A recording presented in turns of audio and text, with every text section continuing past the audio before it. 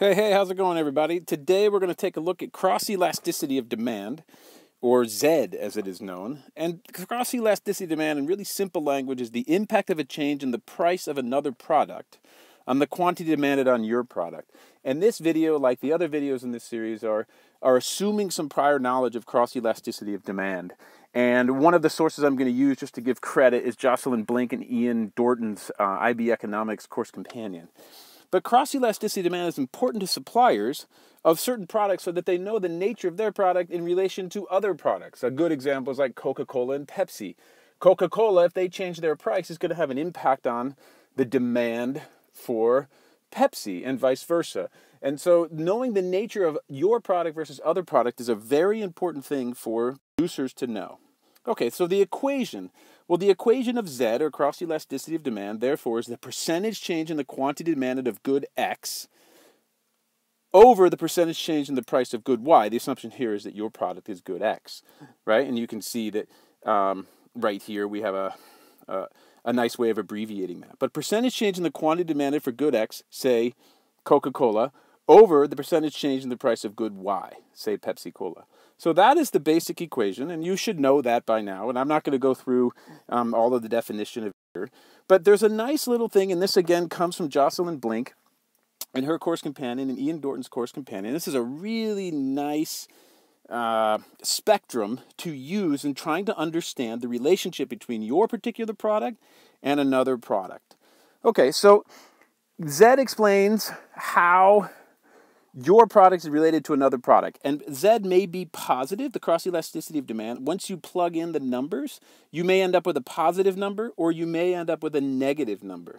And that's important because if it's a positive number, then we know that the product that you are selling and the product that you are analyzing are either remote substitutes. A good example of that would be like uh, maybe a burger and a pizza, right?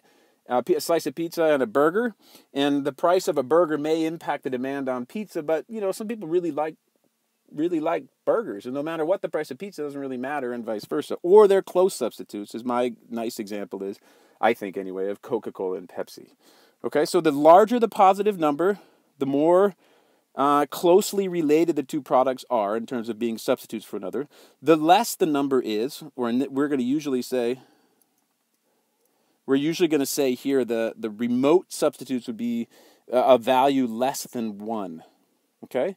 So, but if you do the equation and the product, and the equation comes out to be a negative number, well, then you know that your product and the other product are actually not substitutes of each other, but rather complements of each other. A complement is something that you need in order to buy something else, or you like peanut butter and jelly. Most people, if they eat peanut butter on a sandwich, they're going to put some jelly on there, right? And those would be examples of like close complements. So if there's a change in the price of peanut butter, say it goes up, then you can imagine there's going to be a negative effect on the demand for jelly because those two things are usually eaten together. And I think the best example of something called a close complement, um, which would be a negative outcome that's greater than one, is something like a Kindle and an ebook. You know, you can't, re- assuming that there are no other e readers out there, which of course there are, but let's assume that they're not. That, that you can't read an ebook without something to read it on, which in this case would be a Kindle. So it's actually pretty interesting. Amazon actually does not make much money, if at all. When they first came out with the Kindle, they decided to sell it at cost because they, they what they're interested in doing is selling books. And so they wanted to sell ebooks and they make their profits on ebooks. And so they sold their, their, their Kindles at nearly cost. They made no money on it. But you can imagine if the price of Kindles goes up, right, then that's going to have a negative impact on the on the purchasing of ebooks. They could be something that like that are remote complements. Wouldn't be something that are quite so tied together.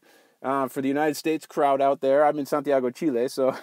But in the United States out there, you know, peanut butter and jelly are super gringo, super American thing to eat. But those would be close complements. But along those lines, something that would be sort of a remote complement would be something like peanut butter and honey because honey has other purposes and you know maybe people don't necessarily like honey and peanut butter together but some people do, so they would be remotely uh, complementary of one another. Okay, so all of this is an important information for suppliers because they're going to want to know what the relationship is between their product and other products in the marketplace. Okay, so I hope this video was informative. I tried to keep it short and, and just try to explain the ideas behind cross elasticity of demand and XED. Of course, I'm assuming that you know these terms, you understand how to define them, and the purpose of this video is to add clarity to some of the discourse that you already know. Okay, talk to you soon.